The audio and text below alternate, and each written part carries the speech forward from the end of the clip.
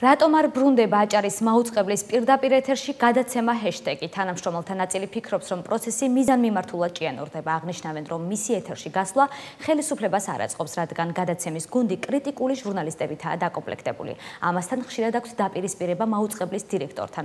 სხვა მიზეზებს ასახელებს გიორგი კოხრეიძე. ამტკიცებს რომ გამოცხადებულია ტენდერი და უნდა განახლდეს სტუდია თუმცა იგი ვერ აკონკრეტებს როდის დაბრუნდება ჰეშტეგი როდის დაუბრუნდება ჰეშტეგი მაყურებელს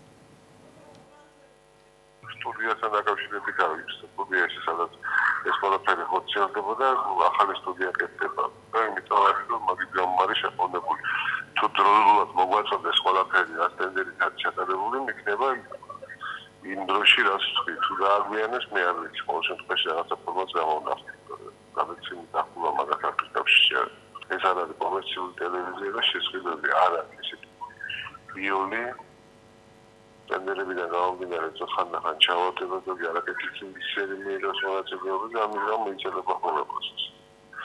საფრთხე კორონა იყო, ამიტომ როდებით ხათა და დაშლის სტუდიაში ვარ გავაკეთებ რაც.